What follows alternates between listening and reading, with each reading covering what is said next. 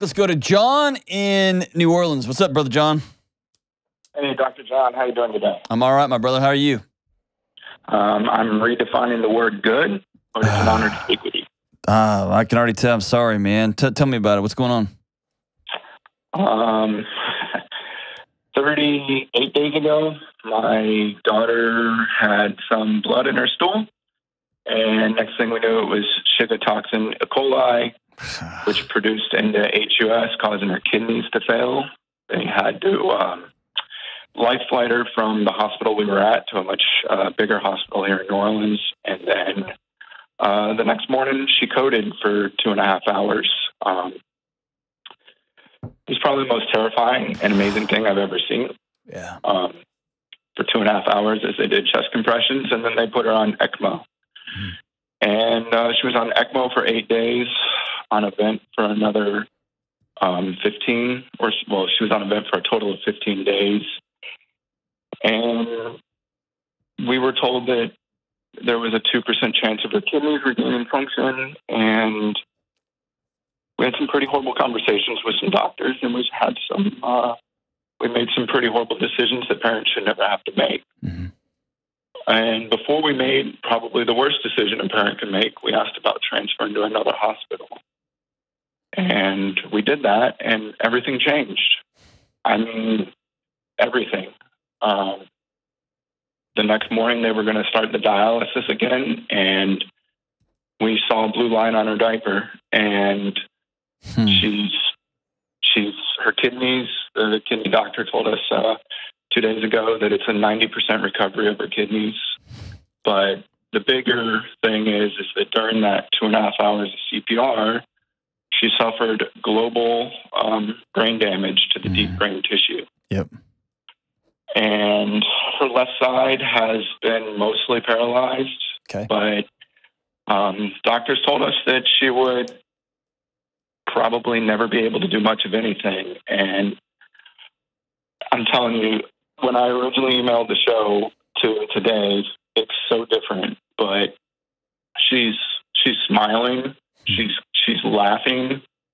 She's she's trying to clap her hands. It's it's so amazing to see how resilient this little baby is. Hmm. Um, but we're, I mean, we're living a parent worst nightmare, and we've got a long way to go, and we don't know. Um, we don't know what the end is going to look like. Yeah. so first and foremost, dude like if I was, if we were just hanging out, I would give you a hug, and I'd probably hold it a little too long. Okay, I'm sorry, man. Me too. Um, gosh, there's so much here. I guess the the first thing is y'all y'all got a rare opportunity to rappel down into the bowels of hell mm. and have to ask questions and have conversations that no parent ever, ever, ever should have to have. horrible. And to resolve to make decisions that no parent should have to have, and then find out that had you made that decision, it might not have been the right. Or you know, what I mean, like you've been in heavy trauma, right? Absolutely, yes. Um, hey, uh, do me a favor. Talk directly into the phone for me. Yes, oh, there we go. Um, and then you've got the illness. Does everybody blaming everybody for this? Parents beat themselves up horrifically over things like this. Yeah, that was. Um, yeah, it's how how can we cope with the guilt of not not protecting her better? Like you know, like that's our job as parents. Um, so yeah, dealing with that has been been rough. Yeah, I think the protection is something we strive for, but in many ways, it's an illusion. True. And you got to see. I mean, you just got your bubble burst on that illusion sooner than most, right? Um, and in a much more horrific way than most, right? Usually people find that out when their kids are in a car wreck or they break an arm or they you know, get COVID or something, and yours end up with, jeez, HUS. I mean, jeez Louise, man, what a mess. Kidney failure. Um, I think that ultimately you got to sit down and grieve this whole thing, start to finish, and y'all aren't there yet. And so the pressure you putting on yourself right now to solve this, what do we do now? I'm gonna tell you what you do right now is you get to tomorrow. And then you get to the next day, and then you get to the next day. You're in mile 14 of a marathon, and you're trying to figure out how you can best massage your calves and best fix your hurting hip. You got to finish the race, and y'all still got a ways to go. Does that make sense? Yes. I would love to see y'all take care of your basic needs eating and sleeping and being with other people. Do you have other kids? Yeah, we've got a we've got a five year old daughter. Jeez Louise. Um, so those conversations are tough too, right? Correct. Yeah, that was, um, you know, we were, I originally it was like, how do I explain to my five year old that her sister isn't coming home? Mhm. But now it's, how do I explain to my five year old that when her sister does come home, that she's not going to be the same? In very clear, simple terms, kids won't have the same baggage that you and I will have, and they will be very more, uh, very much more understanding. So it's as simple as little sis got very, very sick, and so she's not going to be able to move her left leg and her left foot very well. And then a natural question for a six year old or a five year old is, well, am I going to get that sick? And you say, no, probably not. It's very, very, very rare. It almost never happens. But little sis got it. And so we're going to have to help out. And you are going to get to really help your baby sister. And using words like her baby and her baby sister will give her some autonomy and some ownership. And that helps quell that in that anxiety. And that little girl is going to absorb mom and dad's grief and sadness, and that's okay. What's really important though is that y'all communicate with her. We're very sad about little sister. Not like, no, it's all good. We're just plugging along and we're and fake smiling in front of your six year old or five year old because she's going to absorb the tension and she's going to think it's her fault. And she's going to absorb the gap between what she feels and what y'all are saying and what she's seeing with her sister. And so it's just being really honest and saying words like, I'm really sad. I'm really sad that baby got really sick. Daddy's really sad that um, he wanted to protect his little girl and she got sick from a little tiny old bug that I couldn't protect him from. And um, I'm very, very sad that she got so sick. It's being that kind of honest in that un- that language that she can understand, not overthinking it, and also not belaboring it all the time too. Does that make sense? Yes. Um, what I'd really love y'all to see is y'all get home and get settled at home and sleep in your own bed together as as all four of you. And then as the reality of this begins to set in, because right now you're still running on fumes and you're still running on adrenaline and cortisol, and you get home and are able to exhale. That's when the deep grief of this thing will go. Okay. Yeah, we're two. We haven't been home and since this whole thing started. That's right. And so you haven't slept. Your mind's not clear. You're probably not eating very well. Um, do you have people coming up to the hospital to be with you guys? Yeah, we've got a very good support system. Okay. It would be a gift to you and to them to give them some very detailed jobs. I need someone to go mow my yard. I need someone to go vacuum my house and wipe down the kitchen cabinets.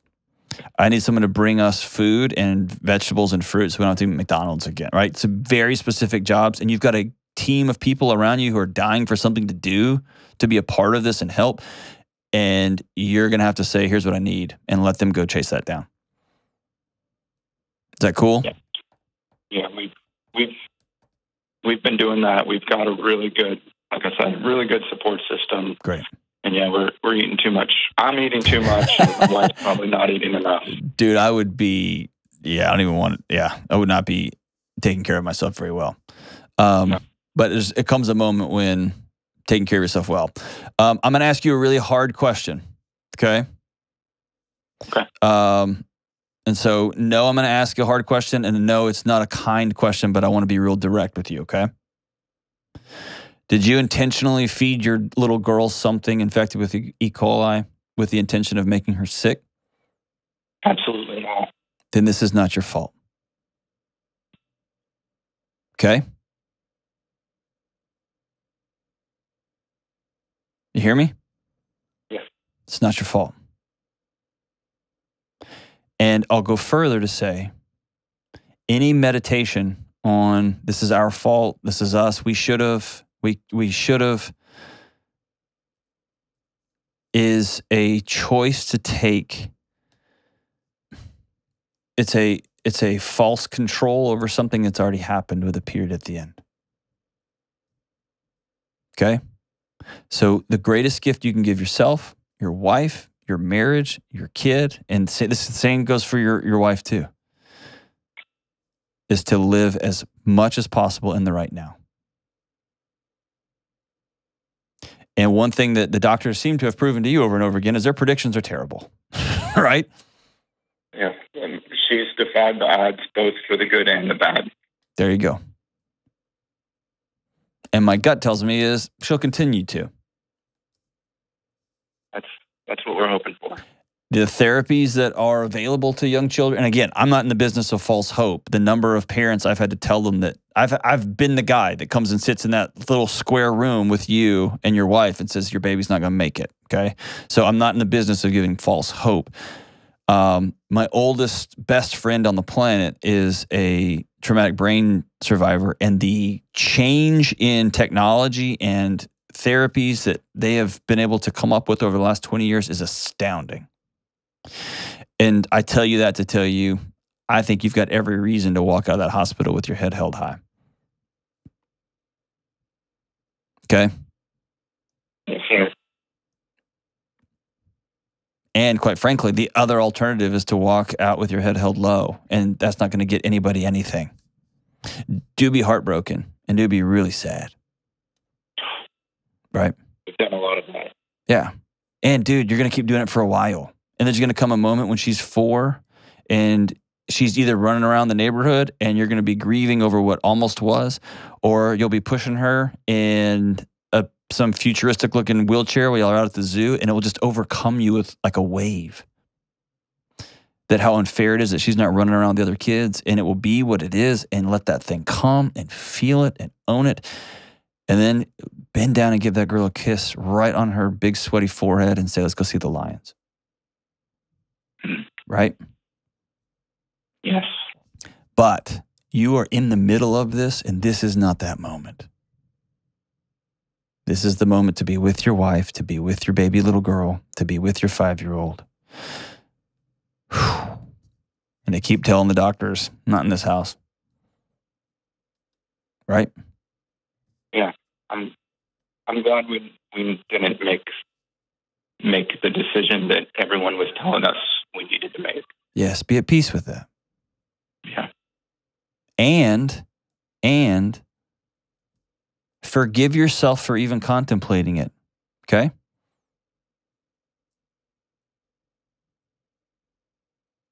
Okay. you got to stop hanging on to it man Yeah. You had to dance with the devil and then you backed out it's good good for you what made y'all change hospitals Um, honestly, it was the dialysis. Um, she was going from acute to chronic, mm-hmm. and the hospital we were at did not do chronic dialysis. So we had to go to the children's hospital that, that does the chronic dialysis. Mm-hmm. So that that was the driving force of, of the move. Wow that's fantastic man and then it just so when she your child moved over they just their care was just different and better and she got she perked up Um, something happened in the ambulance on the way between the two hospitals. She she fell asleep for the first time in days. mm-hmm. Um, she didn't. She pretty much didn't wake up for about 36 hours, and um, that was you know that was when everything started to change. wow I mean everything.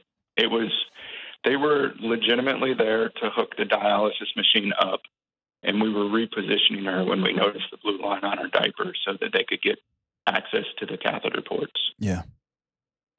Dude, that's amazing. And each day has gotten better. Each day we're getting a little bit more of her back, hmm but there's still a lot of her a lot of are missing. Of course. And there and honestly there might be. There might be. Yeah. Um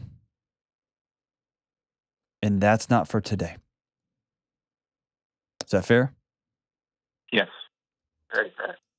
Um do keep this. Uh, I want you to get away from the hospital if you can in the next day or two.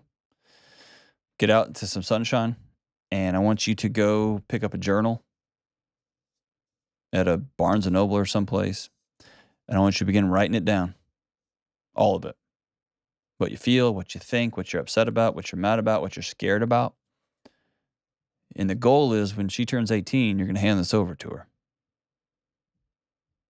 And you're going to say, This is the journey we took with you. This is how much we loved you. This is how long we've loved you. This is a shadow of how much we're going to continue to love you moving forward.